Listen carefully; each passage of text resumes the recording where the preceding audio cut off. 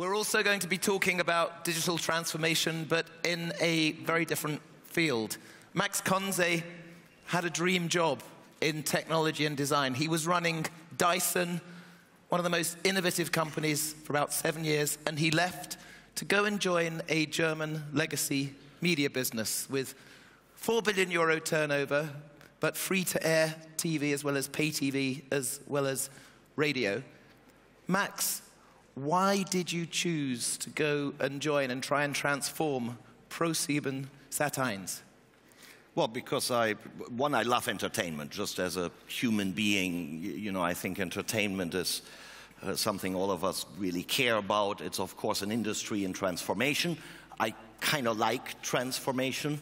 Uh, and I've done that before. And uh, then when I looked at uh, ProSiebenSat.1, of course, we are, uh, you know, large free-to-air broadcaster in Germany, but we're also so much more. No, we have uh, really exciting digital properties.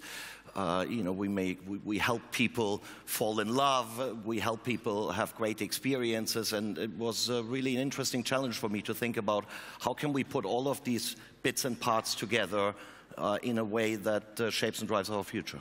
And yet, the world of consuming images, moving images, has changed.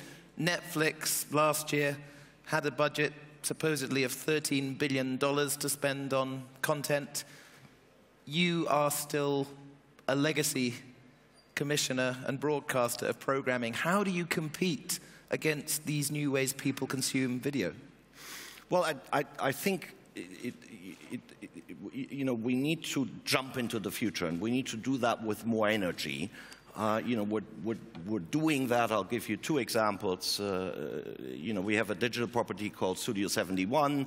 Uh, you know, it's one of the leading digital video players in the world, generates 7 billion uh, video views globally. We just did a German original, LeFloid versus the World. I mean, it's fantastic uh, doku and entertainment, digital, only. So we need to do more of that. We are in the midst of investing in a streaming platform that will be, you know, the best analogy for those that understand America. Well, a German Hulu is not to do what Netflix is doing, but is to do something that stands next to it. Because Netflix is really good at what it does, but entertainment is such a, a broader world. Entertainment is news and is sports and is big shows. And, you know, we're very, very strong in all of these things. And we're trying to create one platform where Germans can view and see and access everything they want and they love to see, and we're launching or relaunching this in the middle of the year. So for people who don't know German media, explain where ProSiebenSat.1 fits in people's consumption in Germany well, if you know, Germany largely is a, particularly for our American friends, you know, it's a free-to-air market, um, and, and, really you have ProSieben, you have RTL Group, and then you have the public broadcasters. In a simple sense, you know, each has about a, a, a third of the market. Um, and you know what I find, what's been fascinating for me to come in and you know you spend time with the team that does the voice, you, you know you see these things is still what incredible convening and star power uh, we have, you know, a voice finale is 10 million people in Germany viewing it. It's a cultural event. It's, you know, it's a big thing. So how do we take those things and make sure they are not identified as, well, that's TV and TV is yesterday, but they're just great entertainment. And how do you bring them alive in the channels of today, but also in the channels of tomorrow? And, and, and so, in many ways, I think you know, simply thinking about who are the people I'm serving, what do those people want to watch, being content first, being digital first, um, and jumping into the future. Still, you took over at a time the markets had said we have concerns. The share price had been dropping. Yeah. Let's talk about the specifics of how you transform a business to convince the markets that you have a robust future. Um, so I came to meet your team in July in an offsite. You'd been there for about a month. Yeah. I'd previously been running Wired and I was writing a book looking for corporates doing really ambitious transformation, innovation. What have you learned? What have you been able to achieve in the half year since July?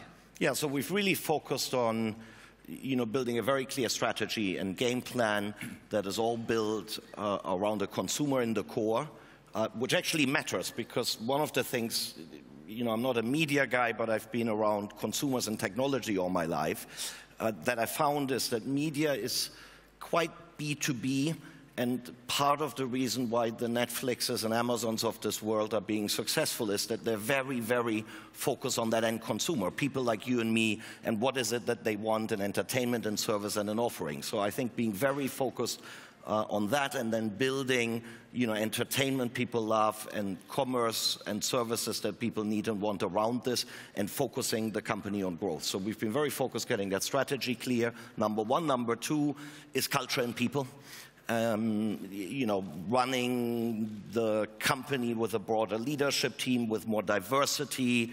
Uh, it just so happens last week we moved all of the leadership team on a new floor that's completely open space. And, and I know all of you who run startup companies will go like, yes, come on.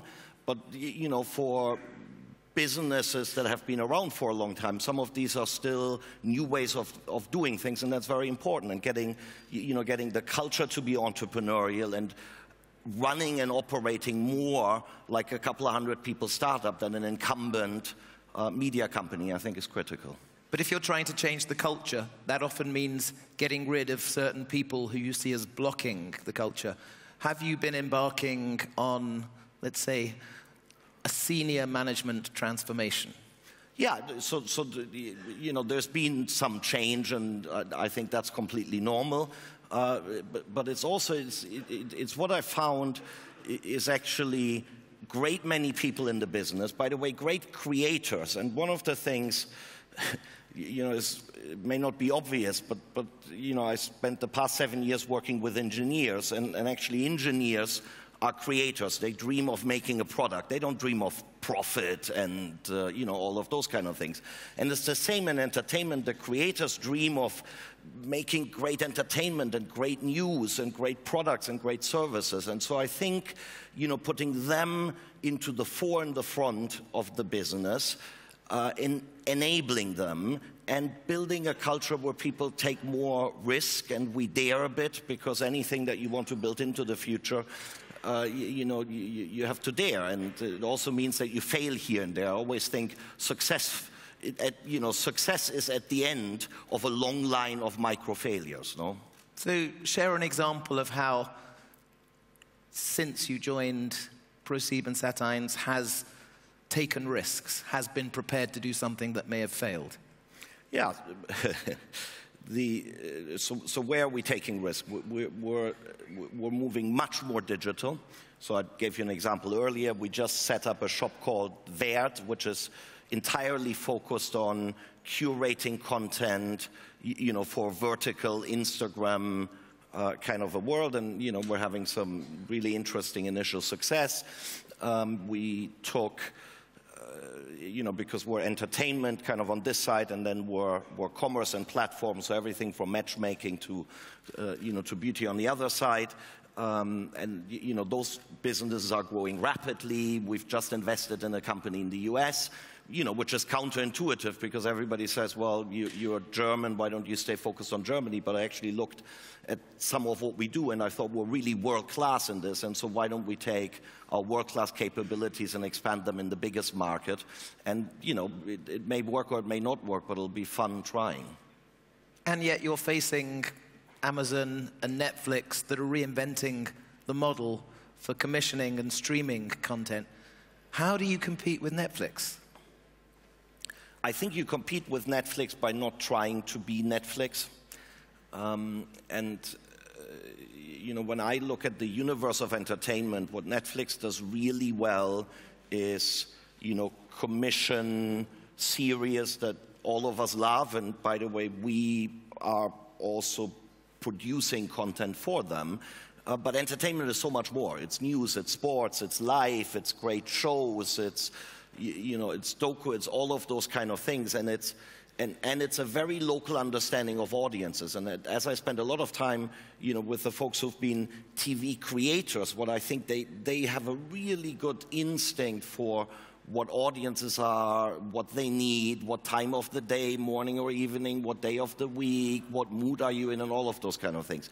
And I think you can take that uh, and bring that alive in a digital world that is very different to what are the wonderful offerings of an Amazon and, and a Netflix today. And I think there's, a, there's, there's, there's significant uh, space for that. And don't forget that we're still in a place, by no means do I want to be complacent, but the 10 million people that are watching the voice finale are still more people than subscribers for either Amazon or Netflix. So I think if we, you know, if, if we use the formats and shows and things that people love, but move ourselves more aggressively into a digital world, create one place where I can access absolutely everything I want, then I think there's a very competitive position to be had. But you got to build it, invest in the team, build the technology. You know, there's a lot of new skill sets to pick up on. So you're coming from outside the industry saying, I have this new vision, I want change. These things are never smooth. So, what have you found the biggest obstacles, the hardest things to achieving your goals of transformation? Tech is hard because, you know, entertainment and media companies have not grown up as tech companies.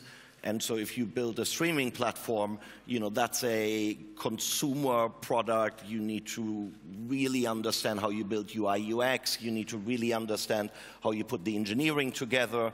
Um, you know, how you have perfect performance and all those kind of things. And yes, there's lots of people doing in the world, but doing that, doing that quickly and doing that, uh, you know, with great quality is, is really hard and you're building new skill sets. But it can be done. It's no different to, uh, you know, when I took on Dyson, it was a hardware company and we had to learn how to build connected devices and how to become software engineers. And, you know, the same here. You have a, a brilliant entertainment company that burns in its heart to make us all laugh and entertain us, but it now is also needing to learn how to be a great tech company and how to be a great consumer company. It can be done, but for that you need, you know, you need new skill sets. You do need a bit of fresh blood um, and you need everybody wanting to jump into that future. But the fresh blood, the really talented engineers, are going to want to join or create their own startups rather than work for a legacy media business. So, how are you going to attract the best technical people? I, I think part is by being the best, most passionate entrepreneurial owner of startups and, you know, I've gone around and visited all the firms we have, and, you know, Parship in, in Hamburg, you look at Studio 71 that sits in Berlin. I mean, these are, you know, usually teams of 100, 150, 200 people. You know, they're young, they're very single-mindedly focused on what they do, they burn with deep passion, and, you know, and, and my job is, uh, you know, to help them do and achieve what they are passionate about best, and then to use some of the, the scale muscle we have to help them grow faster, to build connections, because I can put together, you know, the best influencer marketing with the biggest stars in Germany, with big reach power, and, and you know, help these develop. And I, I think if we do that today, but of course we can always do it better, and the better we do that, then we become, I think, the you know, the best home that if you are a great inventor, you're a great entrepreneur, you're building a company that you want to be part of. And that's uh, how I see my role. You mentioned Dyson. Now, when you were at Dyson, it expanded enormously. New products, you know, autonomous vacuum cleaners and hair dryers, new markets, and a very successful business commercially, but also doing some technically very difficult things. What sort of lessons did you learn at Dyson that you think are transferable to a media business?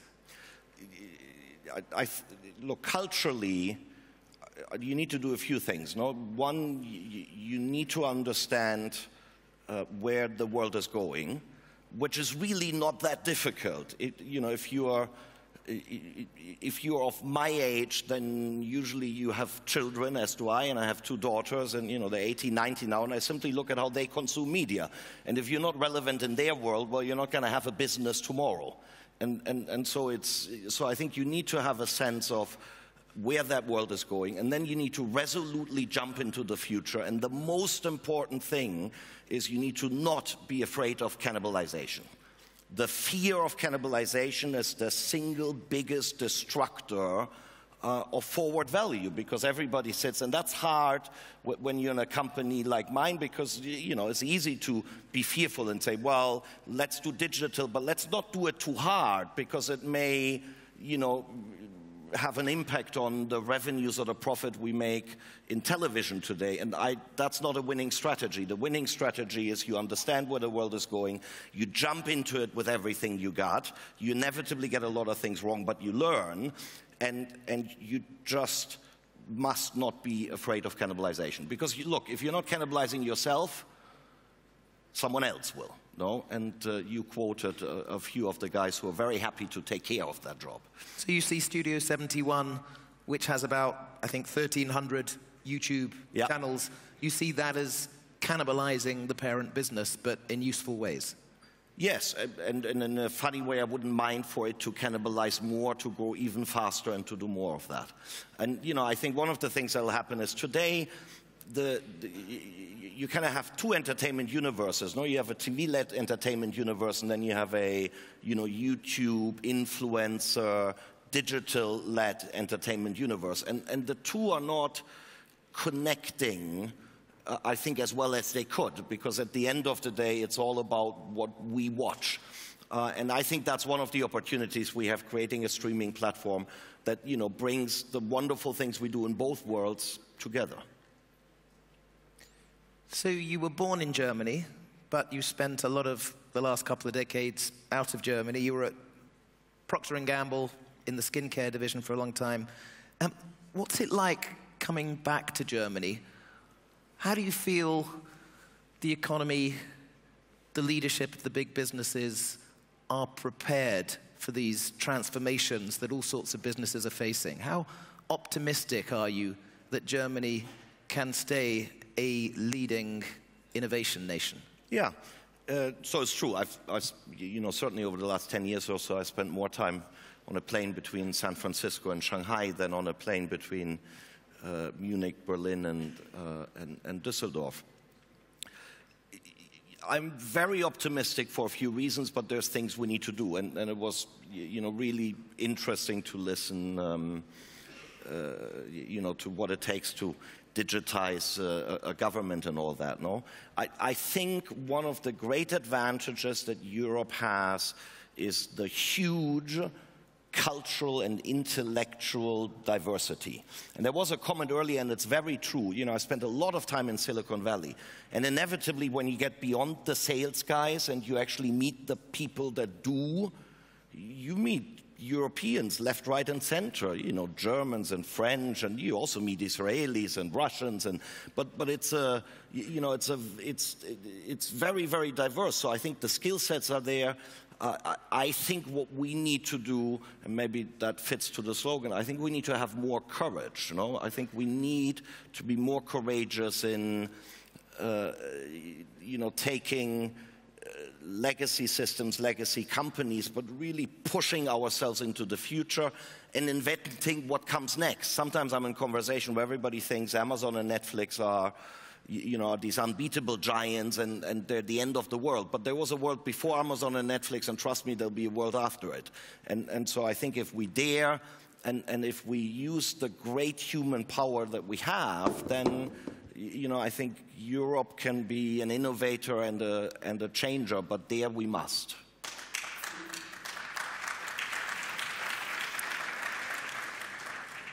So, just one more question, because you're a guy with TV schedules, and we have a schedule, and we don't want Steffi coming and scaring us. Um, you, you've made. Well, we got 43 seconds left. We'll make it. We'll make it. You've, you've made some bold statements about your goals. You said in August you're going to double the share price within five years. Um, but the share price, I think, is currently at about a seven-year low, under yep. 15 euros. So, how can you reassure the markets that you are going to increase shareholder value?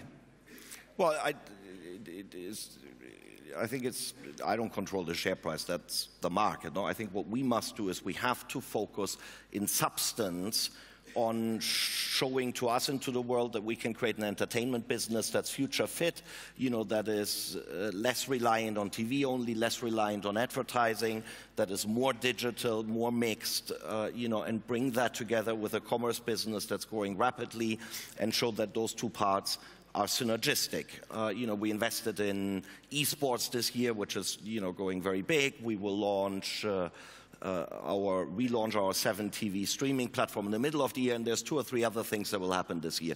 And you know, then it's very simple. It is you, you know, people don't reward you for words, no, and markets are the same. When I talk with investors, they're saying makes all the sense what you guys are doing. By the way, we are investing, which is really important because you can't win that future if you're not investing. But rightfully, markets are saying, well, do that and then start showing me that the things you're doing are leading to success. And that's what my team is focused on. And I think as that comes alive, uh, then you know, we shall be rewarded. Max Conze, agent of transformation, thank you. Thanks, Harry.